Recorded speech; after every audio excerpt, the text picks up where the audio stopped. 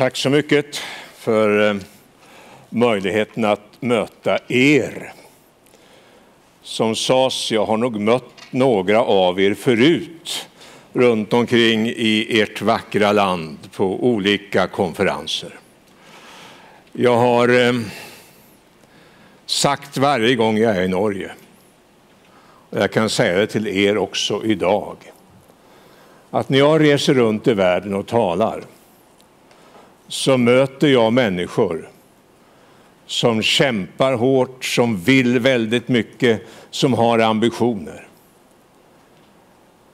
Jag kan lova er en sak, att oavsett vart jag kommer i världen så skulle de vilja byta med er. Det är viktigt att ni tänker på. Det norska samhället har eh, förutsättningar som eh, de flesta andra saknar. Ni har ett underbart vackert land. Ni har en frisk befolkning. Ni är rika i ordets ekonomiska mening och ni har skött er rikedom på ett klokt sätt. Ni har pengarna kvar. Det är inte alla som kan säga efter att ha utvunnit naturrikedomar. Så sträck på er och eh, var ödmjuka inför denna framgång. Därför att det som ligger framför oss av utmaningar, det är stort, det är svårt, men det är också någonting som är moraliskt krävande. Därför att det vi nu ska ta oss an är ett nytt samhällsbygge som inte handlar om mig och min generation. Jag kommer att gå vidare till en annan värld inom en ganska så snar framtid. Nej, det handlar om mina barn och deras barn. Och det handlar om vårt gemensamma ansvar så att det går att leva på vår planet. Det där kan låta oerhört deprimerande. Det kan låta oerhört utmanande och dramatiskt. Och i någon mening är det det. Om vi inte lyckas hantera klimakrisen, ja, då är vi i ett läge då ingen rikedom i världen, ingen skönhet i världen kan fördölja det faktum att de som kommer efter oss kan få ett sämre liv än det vi fick leva. Där i ligger det djupt moraliska. Det handlar inte om mig, det handlar om mina barn och barnbarn. Och då är politiken som bäst. Politiken är som bäst när vi har en sån mission att fylla. Jag har sett politiken inifrån mer än någon annan. Kanske inte mer än alla andra, men det är få som har fått göra den resa jag har gjort. Enkla förhållanden. En arbetarfamilj utan utbildningsbakgrund. In tidigt i ungdomsrörelsen och tidigt som ordförare i en svensk kommun. Det absolut finaste uppdrag jag haft. Där jag lärde mig det mesta av vad jag sen kunde utnyttja i politiken som kunskap. Jag har varit statsminister. Jag har lett den Europeiska unionen. Jag har fått leda FNs generalförsamling. Jag har varit i alla dessa sammanhang. Är det någonting som bär igenom detta så är det du lyssnar till en människa, till en politiker som har en mission, som bärs av en idé, som har ett program och som får något gjort. Det sista är viktigt. Vi har träffat väldigt många som har idéer och som har program men som inte får särskilt mycket gjort. De blir i regel inte omvalda eller genvalge som det heter på ert språk. De får en mandatperiod. I politiken är du inne för att långsiktigt påverka. Och då måste det du säger, det du lovar, också kunna omsättas i praktisk handling, i åtgärder så att människor ser att det sker en förändring på marken. Då säger man, det är inte bara prat, Det är inte bara drömmar, utan det är också någonting som verkligen syns i min vardag och i mina barns vardag, i mina föräldrars vardag. Där är politiken som bäst. Ett politiskt ledarskap som inte förmår att leverera, det blir ett ledarskap som administrerar. Och ganska snart försvinner den ideologiska dimensionen. Sen må man tycka vad man vill, man må luta åt vilket håll man vill. Bärs man inte av en idé, har man inte en mission, ja, då lever man icke som politiker. Men du kan ändå överleva ett tag, administrera och föra sakerna vidare. Men att förändra samhället, att bygga det nya, för det krävs inte bara att du har en mission, utan också att du får något gjort. Jag hoppas att ni är i det läget. Och jag hoppas att ni är i den situationen så att ni också kan få en situation där ni får en ny mandatperiod. För det är politikens mästerskap. Det är inte så svårt att bli vald. Det kan jag försäkra er. Jag har mött väldigt många som har blivit valda och man förvånas över hur det har gått till. Sällan, sällan blir dessa människor omvalda. Men ibland händer det. Vi har ett stort testcase framför oss denna kommande höst. Vi får se vad som händer. Och det är inte utan att jag är lite orolig för det kanske min tes kommer att, så att säga, slå sönder. Vi får väl se. Så är det. Nej, för mig är det på det viset att jag har hela tiden sett nödvändigheten av att stå inför människor och förkunna vad jag tror på, vad jag brinner för. Då måste man ha ett program. Man måste också kunna hur det ska gå till att förändra verkligheten. Du måste kunna ta på saker och ting. Men du får aldrig glömma bort det faktum som politiker eller som ledare att du ska synas. Det är du som står där. Du kan ha ett skrivet anförande, visst, men det är du som ska ha skrivit det. Och om du trots allt inte har skrivit det så ska du ha talat om för den som skrev det åt dig vad som ska stå i det. För det är dina ord och det är ditt budskap. Underskatta aldrig det talade ordet. Underskatta aldrig det direkta mötet med människor. Ni må twittra, ni må vara på Facebook, ni må blogga och ni må hålla på med allt av vad den nya kommunikationen förmår att erbjuda. Ingenting slår det direkta mötet öga till öga med den människa som du begär förtroendet av.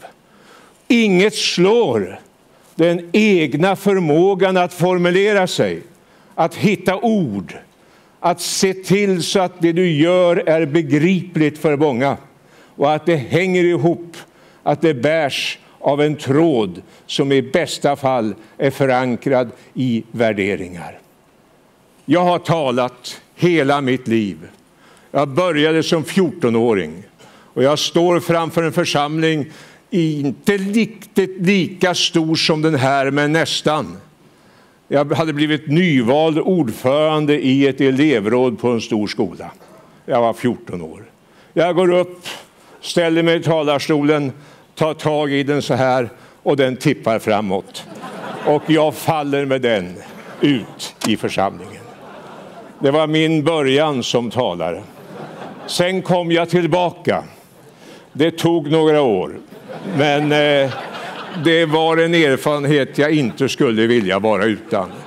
Men vad jag lärde mig och vad ni ska lära er, det är att du kan tala och du kan påverka utifrån dina egna ord och din egen formulering. Därför att då bottnar du, då är du äkta och man känner igen dig. Vad jag var rädd för i början, det var att jag inte skulle finna ord att jag skulle bli tyst. Att jag hade fått en halvtimme att säga någonting och efter sju minuter hade jag sagt vad jag skulle säga. Det där var en skräck i många år. Jag löste det genom att jag talade för mig själv. Jag har stått åtskilliga tusentals timmar framför en spegel eller suttit i en bil och jag har talat. Och jag har gett mig själv olika ämnen att tala omkring och som har överraskat mig själv, faktiskt. Eh, jag vet att jag en gång fick ett uppdrag av mig själv att tala om utvecklingstendenser i det sydafrikanska jordbruket. Ingen dålig uppgift. Men på 45 minuter hinner man utveckla en hel del omkring det sydafrikanska jordbruket. Och jag gjorde det. Och jag kom underfund med att jag kunde ju formulera mig. Jag hittade orden. Det bar. Jag talade om principer för kommunal revision, jag talade om allt möjligt. Men det bar och jag visste att du behöver inte vara rädd för att gå upp inför en församling. Du kommer att klara att formulera dig, du hittar orden, du har förmågan. Och den där förmågan har alla människor. Jag försäkrar er. Den är underutnyttjad och underskattad, den förmågan här i Norden. Vi talar inte tillräckligt ofta och mycket. Åk till USA och ni kommer att möta en kultur där man talar, där retoriken är utvecklad och där den dessutom är förfinad. Och man blir imponerad och man inser efter ett tag att eh, det där är nog en riktigt klok person, man eller kvinna. Och sen får man eh, äran att sitta bredvid vederbörande på lunchen och då kommer man ganska snart underfund med att det här var nog inte så där väldigt strålande intelligent. Men tala kunde de. Varför då? Jo, därför att de hade gjort precis det jag gjorde. De hade tränat. Och, men med det redskapet och dessutom om du äger ett program, en idé, ja då förflyttar du människor. Du må twittra hur mycket som helst, men du förflyttar inga människor.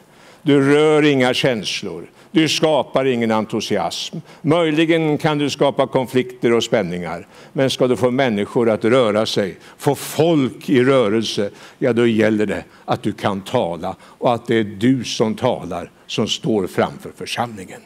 Lägg tid och kraft på det. Det är en viktig del i det politiska ledarskapet oavsett vilken ideologi du tycker att du vilar på.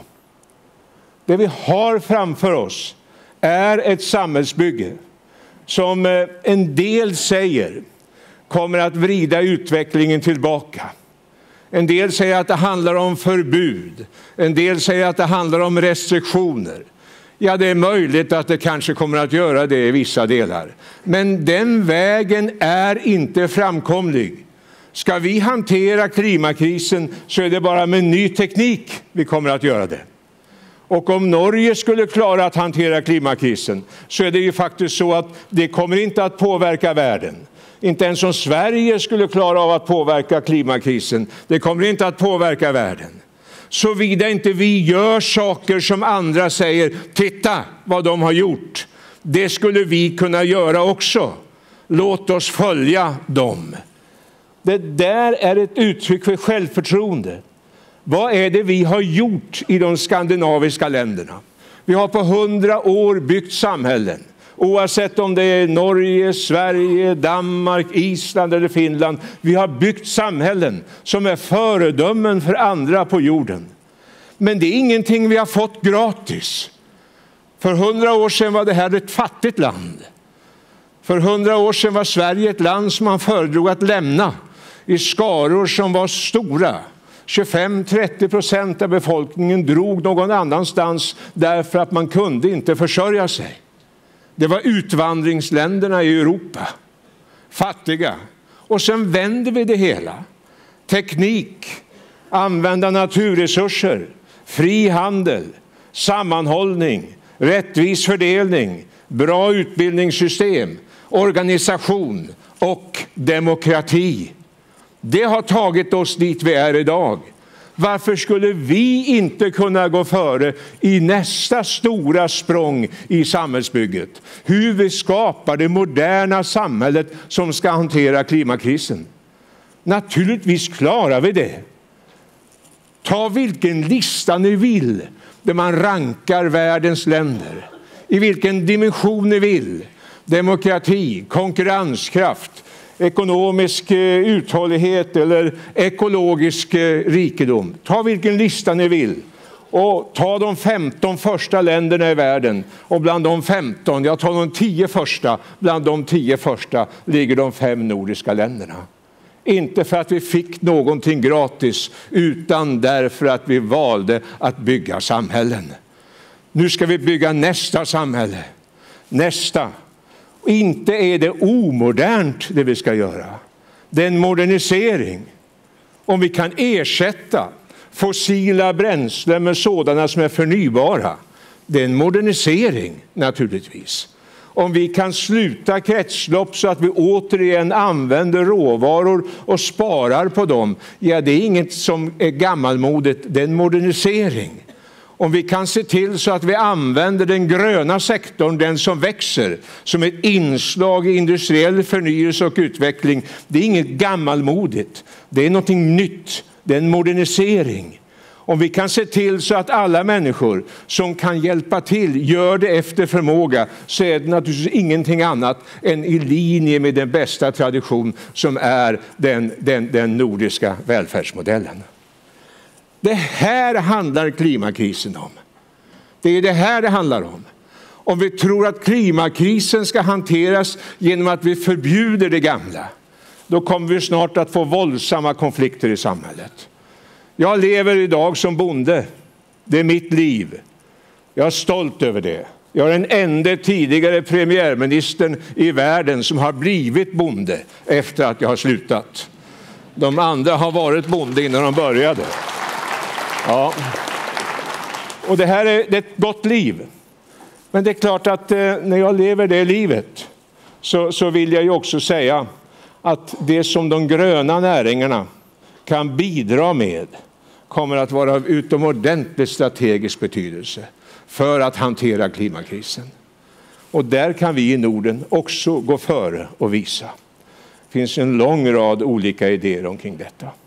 För mig är det också ett uttryck för den gamla enkla tanken att halva dagen ska användas åt intellektuellt arbete och den andra halvan av dagen ska användas till praktiskt arbete. Att få sitta på sin traktor, mina vänner, och fundera ett ögonblick på vad jag sa igår i Oslo, vilket jag kanske kan göra då imorgon. Det är ingen dåligt sätt att reflektera över sakernas tillstånd. Och så kommer jag på, det skulle jag förstås ha sagt. Och sen så tar man om det där i traktorn och lägger ut det ordentligt. Eller också så säger jag det till mina kor, mina kyr, när jag går och tittar på dem och försöker att få dem att börja kalva. Jag är inne i den perioden nu på året. Jag ska ha snart 40 stycken kalvar som ska springa runt benen på mig. Och den, där, den fasen, den, den har gett mig någonting som jag trodde att jag aldrig skulle få uppleva. Eller inte förstod att jag inte hade upplevt förut nämligen närheten till, till stora levande djur. Förståelsen för att det finns också värden, att det finns eh, eh, känslor, att det finns också någon form, om, inte om kanske förstånd, men ändå någon typ av kontakt som är av det slaget att man kan läsa varandra har jag aldrig upplevt förrän nu i vuxen ålder. Det ger mig väldigt mycket. Och det ger mig perspektiv. Och det ger mig ödmjukhet. Därifrån att eh, ta sig in till Stockholm då på morgnarna, släppa laggorn. Och sen längta hem igen till kvällen.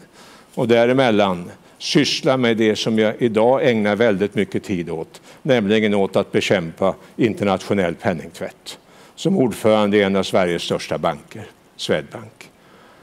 Det är mitt liv. Jag är inte utbildad för detta. Jag sökte det aldrig. Det blev så därför att jag troligen var en politisk person som ville ta ansvar, kliva fram och påverka. Men eh, om jag ska vara riktigt ärlig, jag drömde inte om att bli statsminister. Jag drömde inte om att bli bankordförande. Jag drömde heller inte om att bli bonde. Jag drömde om att bli präst i Svenska kyrkan. Det fick jag inte bli. än. Eh, men eh, det där var också ett uttryck för ett annan, en annan tid, ett annat samhälle. Hade jag sagt med den bakgrund jag hade att jag vill bli präst så hade jag betraktats som en olidligt stöddig person som hade överskattat min förmåga. Något högre fanns inte på den landsbygd där jag växte upp än prosten i församlingen. Så snabbt förändras ett samhälle. Så snabbt växer någonting nytt fram. Och det som är det förnäma det är att så länge vi kan klara ett demokratiskt samhällsskick och slå vakt om det så kommer vi gemensamt att kunna få forma nästa fas, nästa utmaning. Den som förbereder för dem som kommer efter oss. Det är, mina vänner, en stor och viktig uppgift. Det är en vacker uppgift och den har ni. Jag gratulerar till att ni är ordförare och förtroendevalda i norska kommuner. Något finare finns inte. Gratulerar och tack för att ni har lyssnat.